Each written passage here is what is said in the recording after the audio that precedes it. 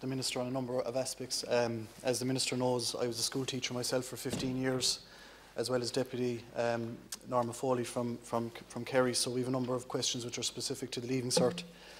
Um, I suppose in the context of, of where we're at with, with COVID, we, we fully understand that this was a difficult decision for the Minister. It didn't come lightly, and I suppose, look, you're, you're moving with the public health advice as it comes, and we understand that.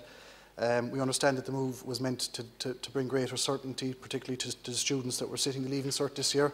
Um, but a, a number of questions obviously um, remain outstanding. Um, one such question, Deputy Byrne just alluded to it there, um, there's issues about the standardisation uh, uh, of the results and I suppose there's specific references in the document that you circulated last week which essentially suggested that there be profiling of schools and, and I suppose the concern that we um, I suppose the students and, and teachers would have is that I suppose schools in disadvantaged areas in particular could could struggle if you know based on the model that, that might be employed. So I'd ask the minister just to clarify um, issues around that kind of modelling.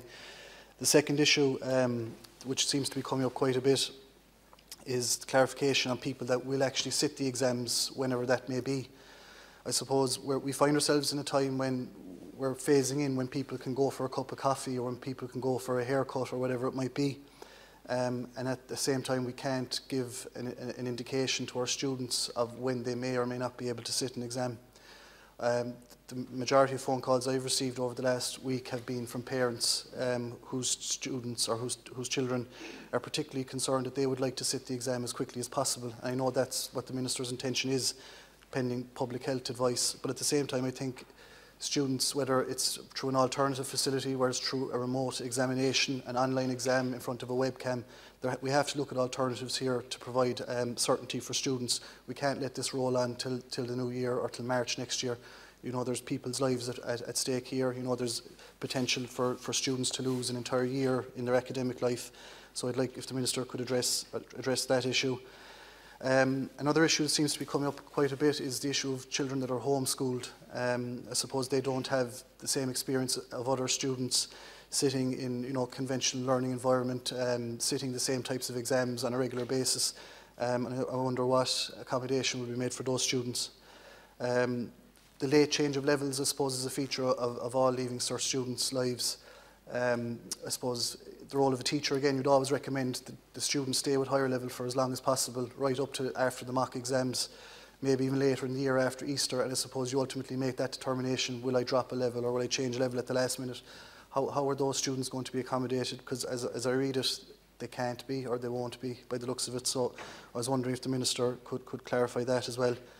Um, also, the grading of non-curricular subjects such as you know Polish, Romanian, and other mi minority languages will say many of these students would sit that exam, um, you know, and receive little or no guidance from a teacher in their, you know, in that entire two-year period. How are those students going to be accommodated as well in, in, in the Leaving Cert? Um, finally, the rescinding of the results for the orals. Um, I suppose I'll be, I'll be blatantly honest, when, it, when, when you first made the declaration that students would get 100% for the orals, I myself as an Irish teacher at the time felt very uncomfortable with that, you know, that, that certain people who would really work very hard deserve that result um, and other students that we'll say may not have worked quite as hard but attain a similar result. I suppose what has changed or what advice have you been given in the, in the, in the meantime which has led you to change tact on that front? Um, and sorry, just as Deputy Byrne also mentioned, um, the issue of lobbying of teachers uh, and principals in, in regards to results. I suppose, look, we, we, we know the vast majority of people and parents will abide by the result that's given. But in, in, circumstances where teachers are pressured or where a school comes under some kind of interference from, from external sources, I do believe that there needs to be some kind of regime of sanctions. I'm not sure if guidelines are sufficient.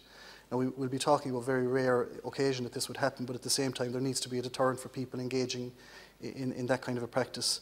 And, and the big bone of contention I have is with fifth year students for next year, I think they need to be provided clarity.